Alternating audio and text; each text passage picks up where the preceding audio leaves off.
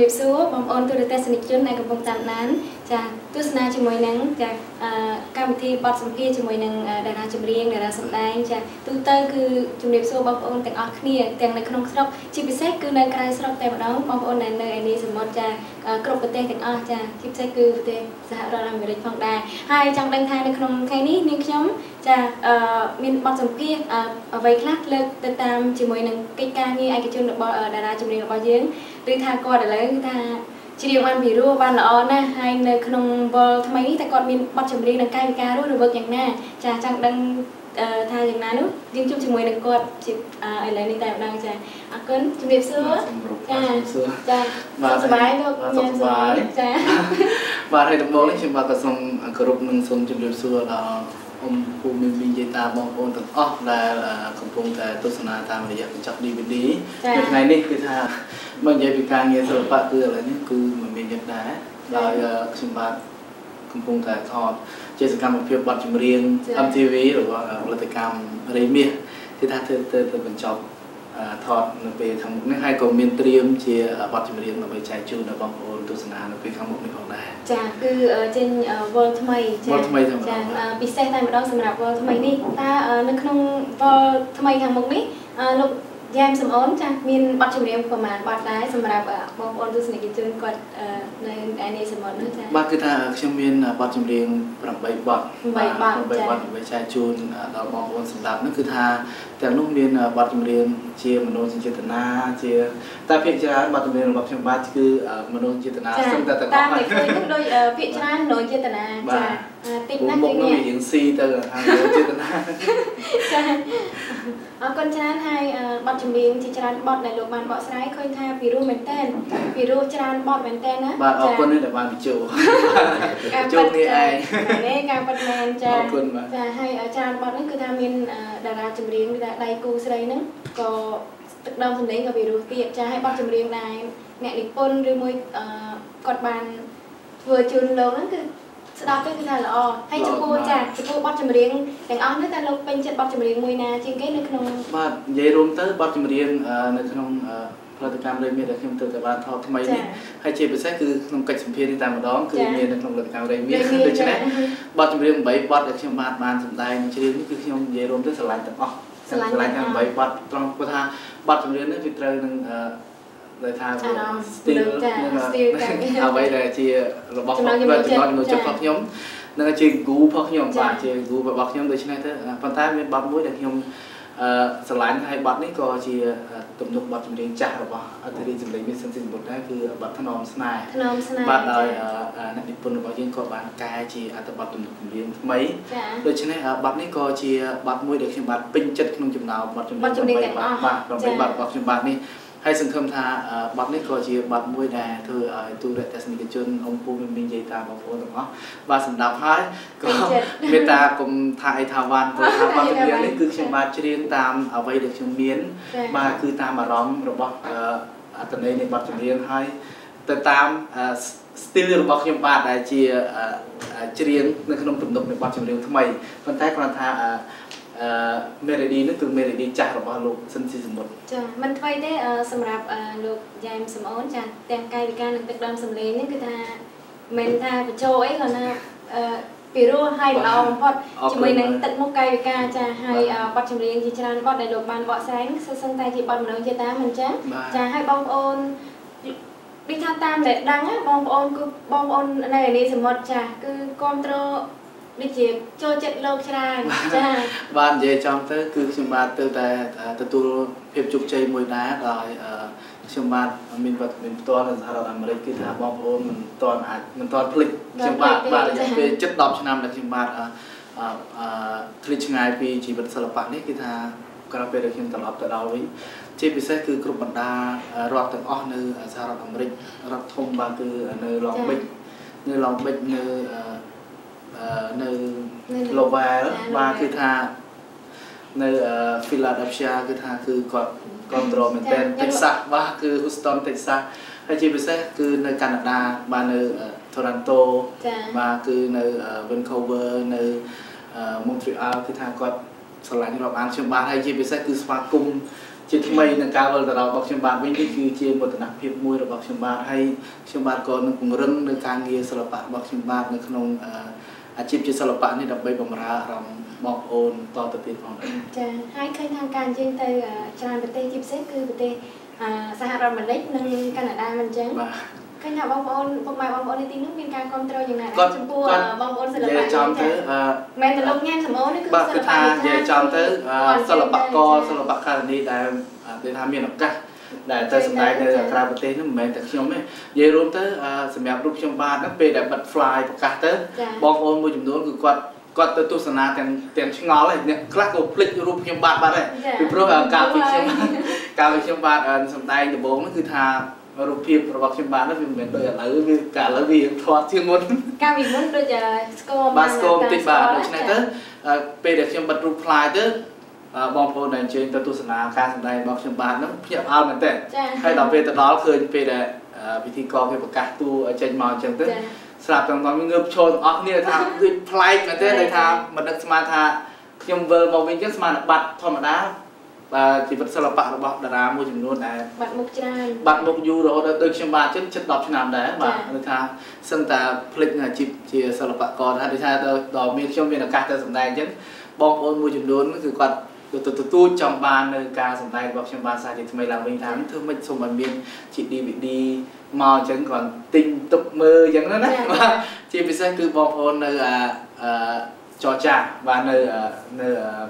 អាឡិនថាគឺថាគាត់សំណុំពោមែនតើឥឡូវនេះតាមរយៈ DVD នៃផលិតកម្មរេមីសនេះសូមផ្ញើបទចម្រៀងទាំងអស់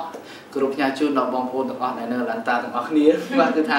គាត់ស្រឡាញ់មែនតើហើយរេមីសគឺថាពេលចេញទៅម្ដងណាមិនដែលបាត់រវល់ចាចាអរគុណច្រើនឥឡូវនេះសូមស្វាគមន៍ជាមួយនឹងការវិលត្រឡប់រួចយ៉ែមសំអូនណាចាហើយអឺសម្រាប់នៅក្នុងបទចម្រៀងចាគឺម្ចាស់ផលិតកម្មជាពិសេសផ្ទាល់ចាគឺអ្នកបងខៀវចិន្តាចាបានផ្ដល់កិត្តិយសយ៉ាងធំធេងជូនលោក យ៉ាងសំអូនចាបានវិលត្រឡប់ជាថ្មីម្ដងទៀតហើយឃើញថាបទចម្រៀងវិរោវិរោមែនតែននៅក្នុងបទចម្រៀងទាំងអស់នោះអឺយើងលោកចាមសំអូនចាសម្ដែងជាមួយនឹងអ្នកណាខ្លះដែរនៅក្នុងវល់ថ្មីខាងមុខនេះចាបាទនិយាយដល់ចំណុចនេះគឺខ្ញុំបាទក៏មិនភ្លេចអរគុណដែរអរគុណធំបំផុតដល់អ្នកបងដែលជាម្ចាស់នៃផលិតកម្មរេមាសដែលបានផ្ដល់កិត្តិយសយ៉ាងធំធេងដល់ គ្រប់បណ្ដាសិល្បករទាំងអស់ជាពិសេសគឺរូបខ្ញុំបាទដែលមានមានវត្តមានសាជាថ្មីឡើងវិញជាមួយនឹងផលិតកម្មរេមាសនេះគឺថាបទចម្រៀងទាំងអស់នោះគឺខ្ញុំបាទមានសម្ដែងជាមួយនឹងកញ្ញាឆោមឈពុំចា៎បាទមានជាមួយនឹងអ្នកនាងយ៉ានីដាដែលជាលោកថ្មីហើយបងប្អូនបាទដែលគូបងប្អូនដែលនៅសហរដ្ឋអាមេរិកក៏ដូចជាកាណាដាបាទជាធ្លាប់ស្គាល់សិល្បករនេះរូបនេះហើយព្រោះថាទៅសម្ដែងជាមួយនឹងខ្ញុំបានរហូតចាមុននោះមានប្រសាសន៍តែនេះខ្ញុំ ចាំបានណាគឺថាក្នុងបទចម្រៀងទាំង8បទលោកញ៉ាំសំអូនចាគឺអឺពេញចិត្តនៅបទចម្រៀងថ្នមស្នេហ៍អញ្ចឹងណាបាទបទនេះគឺជាបទចាស់របស់អធិរាជសម្លេងមាសគឺមានចំណងថាថ្នមស្នេហ៍តែបទនេះគឺត្រូវបានអ្នកនិពន្ធរបស់យើងគាត់ទៅសេអត្ថន័យជាថ្មីដោយទៅតាមតម្រូវទៅតាមប្រហែលជានៅក្នុងនោះអត្ថន័យនេះវាស៊ីជាមួយនឹងរូបភាពក៏ដូចជា សកម្មភាពរបស់បងប្អូនមួយចំនួនប្រហែលជាមានដូចនៅក្នុងអត្ថន័យនៃបទចម្រៀងនឹងចឹងបទនេះមានចំណងជើងថាសុំថ្នមម្ដងទៀតបាទសុំថ្នមម្ដងទៀតចាប៉ុន្តែ melody ហ្នឹងគឺ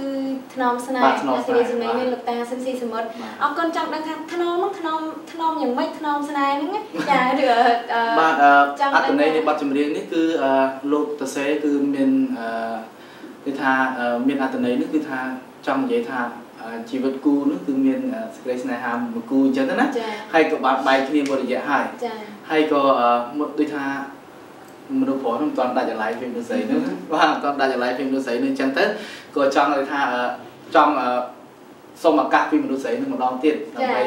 យបាននៅចិត្តគ្នាម្ដងទៀតណាបាទសូមថ្នមម្ដងទៀតប៉ុន្តែមិនដឹងថាអីសូមបបឲ្យមនុស្សស្រីនោះបាទទទួលយកនៅការបបរបស់ខ្លួនចា៎ប៉ុន្តែមិនទាន់បានចម្លើយឆ្លើយតបវិញទេហើយហើយក៏មានអា មួយឃ្លាចុងក្រោយនេះថាប្រសិនបើសិនជាមិនបានផ្ដល់ចម្លើយហើយមិនអោយដល់ទូប្រុសនោះដឹងទេបាទប្រហែលជាស្លាប់ហើយបាទគឺថាសុខចិត្តថាបើសិនជាបើសិនជាស្លាប់ជាមួយនឹងការមិនបានដឹងពីពាក្យពិតពីមនុស្សស្រីដែលយើងស្រឡាញ់ក៏អស់ចិត្តដែរបាទចាមានអត្តន័យហើយដូចមโนចេតនាទៀតបងហ្នឹងចាពិសេសមែនតើចង់ដឹងលោកយ៉ែមសំអូនចានៅក្នុង DVD បកស្រាយដែលយើងថតនៅក្នុង studio ចាគឺ ថតកុំឲ្យថាបងប្អូនមួយចំនួនថតទៅបានសម្លេងវារស់នៅខាងក្រៅមិនដឹងយ៉ាងម៉េចទេអញ្ចឹងនាងខ្ញុំក៏ចង់ចង់ឲ្យយើងផ្ទាល់ចង់ដឹងថា ទឹកដមសម្លេងខាងក្រៅហ្នឹងយ៉ាងម៉េចដែរក៏ព្រមទាំងបងប្អូនទស្សនិកជនក៏គាត់ចង់ដឹងដែរថាសាកច្រៀងគោកមិនមែនថតទៅតើសម្លេងវាយ៉ាងម៉េចដែរចាអាចសាកបានទេមើលទៅបាទថ្ងៃនេះនិយាយចំទៅជាមួយនឹងការច្រៀងចាបាទគឺថាច្រៀងគោកអត់ដូចនៅក្នុង studio ហើយក៏មិនដូចដែលយើងកាន់មីក្រូច្រៀងដែរគឺថាមាន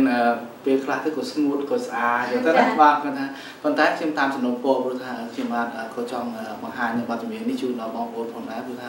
បទនេះគឺជាបទដែលមានអត្ថន័យធំបំផុតហើយសូមផ្ញើជូនចំពោះអឺយុវនារីទាំងអស់ចាសូមឲ្យចិត្តទុនបន្តិចបាទទុនណាបាទព្រោះថាអត្តន័យនៃបទចម្រៀងនេះគឺនារីនោះ រៀងចិត្តរឹងបន្តិចចាបាទក្រោមពីដែកមកគាត់បាទបាទដូច្នេះអ្នកខ្ញុំបាទសូមបកស្រាយមួយឃ្លាចាអញ្ចឹងចង់ដឹងអត្តន័យបទចម្រៀងណាហើយការបកស្រាយនៅជាទឹកដងសំនៀងកោកយ៉ាងណាណាចាគឺឥឡូវសូមលោកញ៉ាំសំអូនបកស្រាយហើយនេះខ្ញុំរាប់ជូនណាចាសូមជឿ1 2 3ធ្នមអើយធ្នមលួងរី ត្រីធ្នមលំស្រីដែលឃ្លាតបេះដូងធ្នមរហូតទឹកភ្នែកស្រក់លើដើមទ្រូងនឹកណាស់មាសស្ងួនចិត្តបងវិលវល់អូចា ព្រោះណាចាលោកចាងសំអូនមិនត្រឹមតែជាព្រោះនៅក្នុងជាថតជា studio DVD មិនអញ្ចឹងហ៎បាទខាងក្រៅក៏ព្រោះដែរក្រៅក៏អត់ទៅព្រោះ DVD មកដែរខាងក្រៅមិនគេជួយមិនជួយអូនប៉ុន្តែមិនធ្វើទេនៅសូមសារនៅស្ដាប់បានបាទអរគុណឲ្យតែបានស្ដាប់បានបានចាអត្តន័យនេះខ្ញុំស្ដាប់មិញមិញគ្រាន់តែខ្លីតែប៉ុណ្ណឹងបាទគឺនេះគឺព្រោះណាចាឃ្លាដំបូងហើយអនិយាយរួមទៅបទនេះគឺមានន័យធំធេងណាព្រោះថា អឺដូចមនុស្សប្រុសហ្នឹងគិតម្នាក់ឯងគេថាសួរម្នាក់ឯងឆ្លើយម្នាក់ឯងចាព្រោះថាផ្ដាំចង់ឲ្យគេឆ្លើយប៉ុន្តែមនុស្សស្រីនេះដូចជាចិត្តរឹងតិចបាទតែខ្ញុំគិតថាអត្តន័យនៃបទចម្រៀងនេះមនុស្សស្រីគឺគាត់គូនេះដែរគោទៅស្រឡាញ់ដែរគោស្រឡាញ់ដែរប៉ុន្តែដូចថាដូចថាកុំឲ្យចិត្តងាយពេកតាមដូចពាក្យកំ pl ៃគេនិយាយថាស្រឡាញ់មិនក្តៅកុំឲ្យងាយពេកបាទជំរាបទំនាប់របស់ បីនេះរបស់យើងគឺមានបាទចាតាមត្រូវហើយគាត់នៅដូចថាយ៉ាងអៀនខ្លះនារីខ្មែរយើងធម្មតាអៀនខ្លះបាត់នេះអៀនខ្លាំងហ្មងខ្លះហើយបាទចាអរគុណច្រើនលោកស្រីនិងកញ្ញាជាទីគោរពនិងជាទីមេត្រីសម្រាប់នៅក្នុងពេលវេលានេះផងដែរគឺលោកអ្នកយ៉ែមសំអូនចាស់គឺគាត់បានជម្រាបជូននឹង ផ្ដល់បទសម្ភាសន៍ជូនក្នុងកម្មវិធីរបស់យើងខ្លះខ្លះហើយហើយនៅក្នុងចំចាប់នៃកម្មវិធីនេះនៅក្នុងឆ្នាំថ្មីតើលោកចែមសំអូនចាមានពាក្យពេចន៍អ្វីសម្រាប់បងប្អូនទូរទស្សនិកជនពុកម៉ែបងប្អូនដែលនៅនីសមុទ្រនោះទេចាបាទជាចុងក្រោយនេះគឺខ្ញុំបាទគ្មានអ្វីទេមានតែមេរៀន10គឺសូមគោរពថ្លែងអំណរគុណយ៉ាងជ្រាលជ្រៅបំផុតដល់អឺលោកលោកស្រីនាងកញ្ញាជាពិសេសយាយតាបងប្អូនទាំងអស់ដែលគោរពស្រឡាញ់លោកអានខ្ញុំបាទក៏ដូចជាសិល្បករសិល្បករនេះទាំងអស់នៅក្នុង ផលិតកម្មរៃមាសដែលមានសកម្មភាពពីដើម DVD រហូតមកដែលលោកស្រីនាងកញ្ញាទស្សនានេះគឺសូមឲ្យលោកលោកនាងកញ្ញាទាំងអស់សូមប្រកបនៅរបបទទួលទានមានបានគ្រប់ក្រុមគ្រួសារហើយជាពិសេសធំបំផុតមួយទៀតគឺសូមឲ្យមានសុខភាពរឹងមាំគ្រប់គ្រប់គ្នាហើយជាពិសេសគឺថាឱកាសនេះគឺឱកាសចិត្តឈានចូលមកដល់ពិធីបុណ្យភ្ជុំបិណ្ឌរបស់យើងហើយបាទគឺថានៅអំណាចខែខាងមុខនេះក៏ពិធីបុណ្យភ្ជុំបិណ្ឌក៏ចូលមកដល់ហើយសូមឲ្យអា ផលអានិសង្ឃទាំងអស់ដែលបងប្អូនមានជាមួយនឹងការជាវជា DVD របស់ការសម្ដែងរបស់ខ្ញុំបាននោះសូមឲ្យប្រកបនៅរបរទទួលទាននឹងមានបានគ្រប់ក្រុមគ្រួសារហើយជាពិសេសទៅទៀតនេះសូមឲ្យសុខភាពនឹងមានគ្រប់គ្រប់គ្នា ជាពិសេសជូនពរដល់យាយតាទាំងអស់ដែលគាត់មានវ័យកាន់តែចាស់ជរាបាទអរគុណច្រើនលោកញ៉ាំសំអូនចាអរគុណដែលបានផ្ដល់បទសម្ភាសន៍ជូននៅក្នុងកម្មវិធីនេះនៅក្នុងវេទិកាមរៃមាសចាអរគុណច្រើនដែល ផ្ដល់កិត្តិយសចាំពេលវេលាដ៏មានតម្លៃជូនពរលោកញ៉ាំសមនមានសុខភាពល្អដូចគ្នាបាទអរគុណអរគុណហើយសូមផ្ញើបទសម្ភាសន៍នេះក៏ដូចជាបទចម្រៀងទាំងអស់ជូនដល់បងប្អូនពុកម៉ែមីមីទាំងអស់ដែលនៅសហរដ្ឋអាមេរិកក៏ដូចជាបារាំងនិងកាណាដានិងជាពិសេសធំបំផុតដល់អឺអឺប្រទេសអូស្ត្រាលីបាទជាជាប្រទេសមួយដែលខ្ញុំបានបានស្គាល់ហើយក៏បានរស់នៅរស់នៅច្រើនបាទយូរជាងគេគឺផ្ញើជូនដល់បងប្អូននៅ Melbourne Sydney Adelaide Queensland និង Perth ទាំងអស់គ្នាដែលកំពុងទស្សនាតាមកញ្ចក់ DVD នៃផលិតកម្មរីនេះចាអរគុណច្រើនហើយសង្ឃឹមថាការសម្ដែងរបស់លោកយ៉ែមសំអូននិងទឹកដមសំនៀងរបស់លោកចាដិតជាប់នៅក្នុងអារម្មណ៍របស់អស់លោកស្រីនិងកញ្ញាពុកម៉ែបងប្អូនជានិច្ចជូនពរសុខភាពល្អជួបគ្នាឱកាសក្រោយទៀតអរគុណចាអរគុណសម្រាប់បងប្អូនទូទេសនិកជនចានៅក្នុងព្រឹត្តិកម្មរីនេះចាជាព្រឹត្តិកម្មមួយដែលឈានមុខគេចាមានបទចម្រៀងពីរោះពីរោះចាហើយតារាចម្រៀងចាទាំងតារាសម្ដែងចា គឺសិស្សឹងតែជាតារាដែលនៅក្នុងនោះគឺមានជាពិសេសគឺបោះជំហាននិងមានឈ្មោះល្បីល្បាញនៅក្នុងរាជាណាចក្រជាជាពិសេសគឺដោយសារទៅលើបងប្អូនទស្សទស្សនិកជនគ្រប់គ្រងផងដែរចាហើយសង្ឃឹមថានៅក្នុង